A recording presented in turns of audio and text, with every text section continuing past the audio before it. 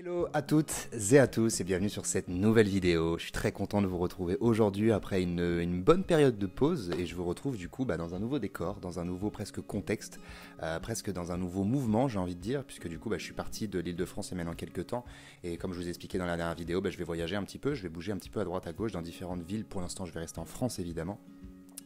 Et, puis voilà, donc je suis très content de vous retrouver dans ce bel endroit voilà, je trouve ça hyper beau. J'ai loué cet endroit pour pouvoir tourner une formation, une formation sur la motivation qui va sortir d'ici quelques jours. Mais en attendant, déjà, je vous retrouve sur YouTube et ça, c'est un gros plaisir parce que bah, même si j'ai fait une pause que de 10 jours, vous m'avez quand même bien manqué et, j'ai encore plein, bien évidemment, plein, plein de choses à vous dire. Donc aujourd'hui, on va s'intéresser à comment sortir de sa zone de confort et pourquoi est-ce que j'ai choisi ce sujet? Bah, bah, Vous avez bien compris, c'est parce que justement, je suis en pleine sortie de ma zone de confort et, je trouve ça trop intéressant justement de pouvoir vous partager, à, à, mon sens, qu'est-ce qui peut faire que ça fonctionne, qu'est-ce qu'on, enfin, plutôt qu'est-ce qui peut faire que votre sortie de zone de confort sera réussie et que vous allez réussir à atteindre les objectifs que vous étiez fixés en voulant sortir de votre zone de confort? Donc on va essayer de comprendre un petit peu comment ça fonctionne. Donc bien évidemment on va parler de la peur également, parce qu'en général quand on veut sortir de notre zone de confort, bah, on est évidemment confronté à nos peurs, ce qui est normal. Hein. Nos, peurs, comme je vous l'ai déjà dit dans différentes vidéos, dans un premier temps, euh, elles sont là pour nous protéger. Hein. Elles sont là, elles sont, c'est, on va dire, c'est une émotion qui est bienveillante, qui est là pour nous protéger en cas de danger. Donc on va reparler au fur et à mesure de tout ça dans cette vidéo. Et dans un premier temps, je voulais vous parler du pourquoi sortir de sa zone de confort. Parce que bien évidemment, sortir de sa zone de confort, ça peut être intéressant. On sait bien évidemment que quoi qu'il arrive, quand on sort de notre zone de confort, bah, on s'ouvre à l'évolution, puisqu'on s'ouvre à l'inconnu. Et si on s'ouvre à l'inconnu, on s'ouvre à l'apprentissage. Si on s'ouvre à l'apprentissage, on s'ouvre à l'évolution. On est bien d'accord. Donc déjà, ça, ça peut être un premier point qui peut être intéressant, on va dire dans un cadre très général de sortie de zone de confort. Maintenant, quand je vous dis un pourquoi, c'est votre pourquoi à vous, qui ne peut être que votre pourquoi. C'est-à-dire, pourquoi est-ce que vous voulez sortir de votre zone de confort? Moi, par exemple, aujourd'hui, je sais pourquoi est-ce que je voulais sortir de ma zone de confort. C'était même pas sortir de ma zone de confort, je voulais plutôt sortir d'une situation qui commençait à être, on va dire, anxiogène pour moi, qui commençait à pas être bonne pour moi, et pas en adéquation avec euh, réellement ce que j'ai envie de transmettre, ce que j'ai envie de véhiculer dans mon travail et dans ma vie perso, et de la façon dont j'étais en train de vivre, ou encore dans l'environnement dans lequel j'étais en train d'évoluer. Donc moi, c'était mon pourquoi qui était solide, en fait, si vous voulez. Et puis après, bon, il y a d'autres pourquoi, mais ça, je vais pas tout vous développer en vidéo, bien évidemment, parce qu'il y a des choses qui me regardent, vous avez bien compris. Mais, euh, mais voilà, je pense que dans un premier temps, avoir son pourquoi. Pourquoi est-ce qu'on veut sortir de notre zone de confort C'est vraiment l'essentiel, parce qu'en fait, c'est ce qui va vous donner dans un premier temps le déclic de sortir de votre zone de confort, et dans un second temps, c'est ce qui va vous faire tenir dans la durée de votre sortie de zone de confort. Parce que si par exemple vous, vous prenez un gros risque à un moment donné pour faire quelque chose parce que vous avez un pourquoi qui est solide, mais une fois que vous prenez ce gros risque et que vous êtes justement dans, cette, dans, dans, dans ce nouveau mouvement, dans, dans cette sortie de zone de confort, euh, bah, il y a de fortes chances que si votre pourquoi il est pas assez solide, vous vous dites bah non en fait finalement c'est pas ce que je voulais faire et en fait j'ai fait peut-être même tout ça pour rien et puis du coup vous allez faire machine arrière. Donc déjà le pourquoi il est très important pour se lancer dans un premier temps mais également pour tenir dans la durée. Vous avez bien compris. Ensuite, euh, selon moi, le, pourquoi il est important parce qu'en fait, c'est celui qui va vous donner la vision. La vision, tout part d'une vision, selon moi, tout part de ça.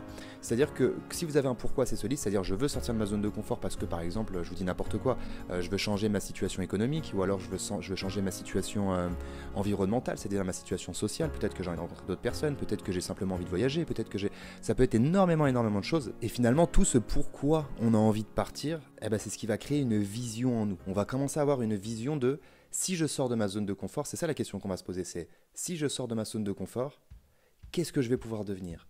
Jusqu'où est-ce que je vais pouvoir aller?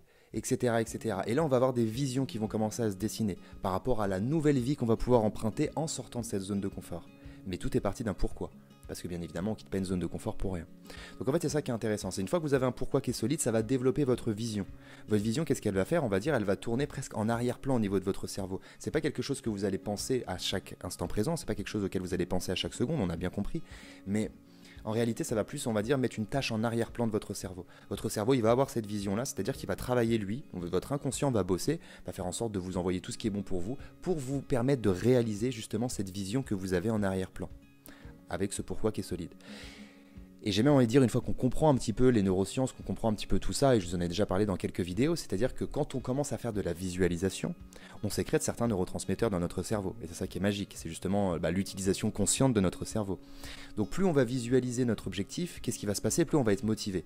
Là par exemple, si vous commencez juste à vous poser, à vous asseoir, peut-être à fermer les yeux, peut-être à juste imaginer euh, ce que vous avez envie de découvrir dans votre sortie de zone de confort, commencez à imaginer, à visualiser tout ce que vous souhaitez, mettre des émotions dessus, mettre des couleurs, mettre des images, des sons, des sensations, des émotions du coup. Ok Et vous faites ça peut-être juste 2 minutes, 3 minutes, peut-être 5 minutes. bah, juste quand vous allez réouvrir les yeux, vous allez être motivé. Et cette motivation, qu'est-ce qu'elle va vous permettre? Elle va vous permettre d'avoir de l'énergie. Parce que la motivation, en termes de neurotransmetteurs, on pourrait l'apparenter à la dopamine, ok ce neurotransmetteur du plaisir, mais également de la motivation. Et ce, cette dopamine, c'est le précurseur de la noradrénaline. Et en fait, la noradrénaline, c'est l'énergie qui vous permet de passer à l'action. Donc plus vous allez réaliser cette visualisation et vous allez avoir ces visions constantes sur votre objectif, plus vous allez être motivé à atteindre votre objectif, et plus cette motivation va vous permettre d'avoir de l'énergie pour pouvoir réaliser, passer à l'action, mettre les, les bonnes actions tout simplement pour pouvoir atteindre votre objectif. Déjà, ça, c'est une vision qui est. C'est plutôt un premier aspect qui est très important selon moi pour pouvoir sortir de sa zone de confort à comprendre. Mais là, peut-être que vous allez me dire, ok, c'est bien cool d'avoir une vision, c'est bien cool d'avoir de la motivation, c'est bien cool d'avoir de l'énergie pour passer à l'action et pour réaliser ce, ce que j'ai envie de réaliser dans ma sortie de zone de confort. C'est intéressant. Seulement, en général, ce qui bloque notre sortie de zone de confort, c'est la peur. Et là, on est bien d'accord. Donc c'est intéressant d'avoir une motivation, c'est intéressant d'avoir tout ce que je vous ai partagé dans un premier temps, mais si vous avez beaucoup trop peur, bah, vous n'allez pas pouvoir passer à l'action.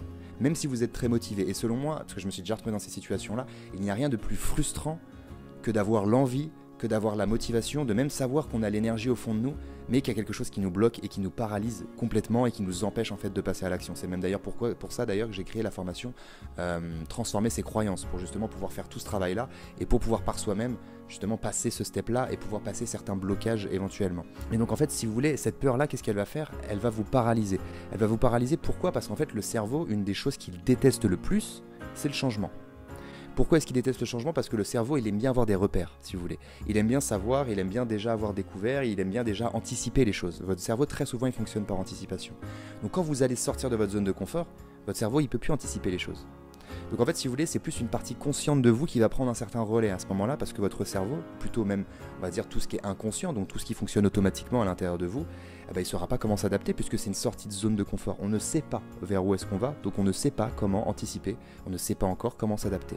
Mais ça, c'est des choses, si vous voulez, plus dans votre passé vous avez pris l'habitude de sortir de votre zone de confort, moins ça vous fera peur de sortir de votre, nouvelle zone de confort, si vous voulez. Parce que des zones de confort, dans notre vie, on en a eu plein, différentes. Peut-être qu'à un moment donné, vous avez eu un certain job, vous étiez dans votre zone de confort, et puis finalement, vous avez changé de job, ça vous a fait sortir de votre zone de confort. Peut-être qu'à un moment donné, vous habitiez un certain endroit, vous étiez dans votre zone de confort, vous avez déménagé, ça vous a fait sortir de votre zone de confort.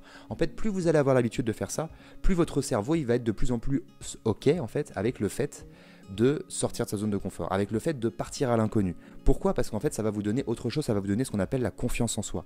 La confiance simplement en notre processus d'adaptation au changement, notre processus d'adaptation à une nouvelle situation, un, un nouvel environnement, etc. Parce qu'aussi, une des plus grandes qualités de l'homme, et ce qui est paradoxal, parce que le cerveau, lui, il aime bien l'habitude, on, va dire, il n'aime pas le changement, mais pourtant, une des grandes qualités de l'homme, bah, c'est de sa capacité à s'adapter dans son nouvel environnement. Donc en réalité, déjà, si vous avez juste pris, conscience que vous êtes capable parce que vous êtes un humain normalement constitué, vous pouvez sortir de votre zone de confort n'importe quand parce qu'en fait vous allez toujours vous adapter, vous allez toujours trouver des solutions. Et comme disait même en plus Einstein, euh, un problème sans solution est un problème mal posé. Et je suis complètement d'accord avec ça. Pour moi, il y a des solutions à absolument tous les types de problématiques. Il y a juste des croyances parfois qui nous empêchent de voir les solutions. Il y a juste parfois des mauvaises perceptions qui nous empêchent de voir le bon angle de vue pour pouvoir trouver la solution adaptée. Et c'est très souvent tout ça. Ou alors on va avoir des peurs qui vont nous bloquer, ou alors on va avoir des croyances voilà, qui vont nous limiter, ou ce genre de choses. Mais en réalité, quand vous comprenez la peur, même, parce que là du coup on va faire un parallèle par rapport à ça, quand vous comprenez la peur en elle-même, c'est-à-dire que c'est juste une émotion en fait qui essaie juste de vous, de vous réconforter, de vous protéger, non pas de vous museler et de vous empêcher d'atteindre vos objectifs, hein, c'est pas ça l'idée de la peur. L'idée de la peur, c'est je vais te faire peur pour pas que tu prennes un trop gros risque, pour que tu évites de te mettre en danger. Donc du coup, je vais te créer une émotion en toi qui va te paralyser dans un premier temps, ou dans un second temps pour d'autres types de situations, je vais te créer une émotion en toi qui va te faire faire partir en courant. C'est un petit peu les deux mécanismes automatiques de la peur.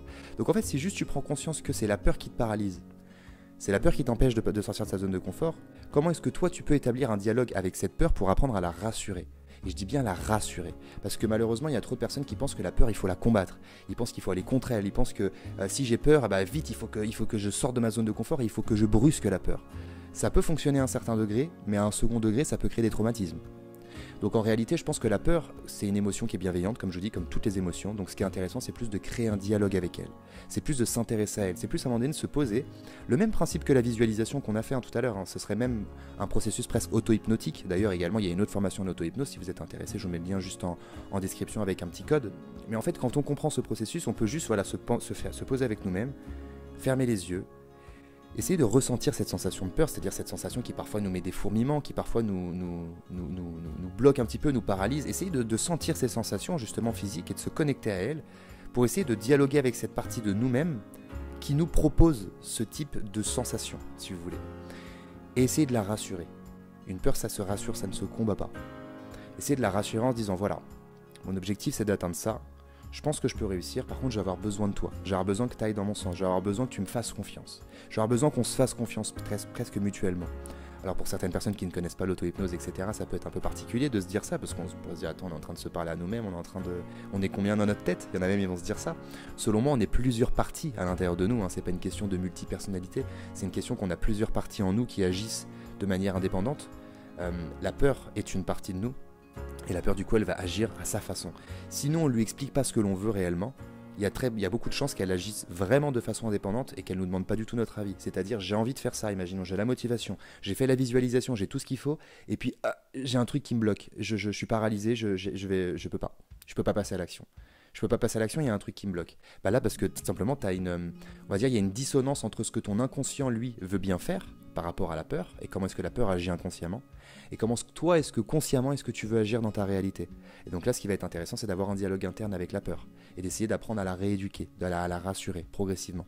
Et selon moi, l'auto-hypnose, c'est quand même une des bases pour pouvoir apprendre à vraiment créer des vrais dialogues avec ses émotions, parce que l'auto-hypnose, même si on s'en fait une image de je me mets en auto-hypnose, et puis je me mets en auto-hypnose par exemple pendant 20 minutes ou 30 minutes, je fais ma séance tous les jours, etc., pour faire ce que j'ai envie de faire dans ma vie, peu importe. Ça, c'est une vision de l'auto-hypnose qui est très juste, mais selon moi, l'auto-hypnose, plus tu l'as apprivoisée, plus tu l'as comprise, plus tu l'as inculquée dans ta vie et dans ton quotidien, plus ça devient presque un état quotidien. Moi, aujourd'hui, je fais très peu d'auto-hypnose. Je vais être très franc avec vous, euh, c'est quelque chose que j'ai répété pendant très très très longtemps tous les jours. Maintenant, j'en fais très peu, parce qu'en réalité, je me mets en auto-hypnose très rapidement, et en fait, c'est un état, si vous voulez, que j'ai apprivoisé. Donc, dès que je vais avoir besoin, imaginons, de parler avec une certaine partie de moi, ça va aller très très vite en fait. Ça va être très fluide. Je vais même plus avoir besoin finalement d'utiliser tout le processus qui m'amenait à pouvoir arriver dans cet état de conscience. C'est un petit peu comme quand vous passez votre permis de conduire, si vous voulez. Au début, vous êtes obligé de faire attention à absolument tous les détails. Vous êtes obligé de faire attention au volant, euh, au rétroviseur, les vitesses, les pédales, le siège. Et au début, vous êtes un peu conscient de tout, vous êtes en train de tout observer. Ça, c'est un petit peu pareil quand on apprend l'auto-hypnose. Et puis finalement, plus on apprend à le faire, plus on apprend à le faire. Bah aujourd'hui, quand on rentre dans la voiture, et bah hop, on met les clés, tic tac, hop, c'est moi, hop, c'est parti. Et puis on réfléchit même plus. Et parfois, on arrive au bout d'une heure à l'endroit où est-ce qu'on voulait se rendre, et puis on se dit, mais j'ai même pas vu la route passer. Bah, pour l'auto-hypnose, comme pour n'importe quelle discipline, c'est un peu la même chose. Parfois, on va juste, c'est un peu pareil. C'est un peu comme si je montais dans ma voiture, je réfléchissais pas. Bah là, je vais juste retourner dans, mon, dans, ma tête, on peut dire ça comme ça. Ou alors, je vais me reconnecter avec une, avec une certaine part de mon, de mon système inconscient pour justement établir ce dialogue avec cette part inconsciente pour apprendre à la rassurer et lui surtout lui transmettre même mon objectif de sortie de zone de confiance. De, sortie de zone de confiance. De sortie de zone de confort. On a bien compris. Parce que l'idée, bah, c'est de réussir notre sortie de zone de confort, c'est d'avoir la visualisation, de se dire, ok, ça va peut-être pas être simple, mais n'empêche que je vais apprendre à me rassurer avec la peur, je vais apprendre à rassurer cette peur, je vais apprendre à créer des visions en moi pour pouvoir trouver la motivation, l'énergie et pour réussir à passer à l'action. Et ensuite, on va dire sur tout le chemin de la sortie de zone de confort, même quand j'ai des petits downs, même quand j'ai des moments voilà, où, ça, baisse un petit peu peut-être en énergie ou en motivation, eh ben, j'ai toujours la première clé, me rappeler du pourquoi est-ce que j'ai voulu atteindre cet objectif, me rappeler du pourquoi est-ce que j'ai voulu sortir de ma zone de confort. Et ce pourquoi, s'il est assez solide, il pourra vous emmener n'importe où. Peu importe où est-ce que vous voulez aller. Quand je dis où, c'est pas un lieu physique, hein, c'est c'est la situation dans laquelle vous voulez vous trouver. Si votre pourquoi il est assez solide, il vous emmènera partout. Parce qu'il va vous transmettre la motivation, l'énergie, et il vous reste plus que votre dialogue interne avec la peur pour pouvoir atteindre ce que vous souhaitez atteindre réellement dans votre réalité. Donc voilà, ça sera à peu près tout pour cette vidéo. Euh, on pourrait même d'ailleurs dessiner du coup une sorte de schéma, hein, se dire que le pourquoi nous apporte une vision, cette vision nous apporte de la motivation, cette motivation nous apporte de l'énergie, et cette énergie nous permet de passer à l'action. Et ce passage à l'action nous permet de petit à petit atteindre notre objectif ou atteindre notre, on va dire, notre sortie de zone de confort en toute sérénité. Et après, on peut faire un cercle vertueux, parce qu'après, on retourne sur le pourquoi. Si à un moment donné, on a un moment de faiblesse on retourne sur le pourquoi, on recrée une vision, on recrée de la motivation, de l'énergie, passage à l'action, etc., etc.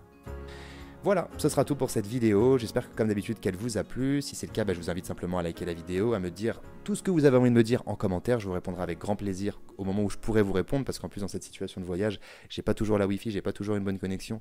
Donc, euh, donc effectivement, je vais pas pouvoir toujours vous répondre en temps et en heure, mais en tout cas, je vais essayer de répondre le plus rapidement possible, bien évidemment. Et si vous n'êtes pas abonné à la chaîne, eh ben, bien évidemment, faites-le, puisque bah, là, je relance complètement la chaîne YouTube. Il y aura au minimum deux vidéos par semaine. Et bah, donc, du coup, je vous retrouve sur la prochaine vidéo. Donc, prenez bien soin de vous et ciao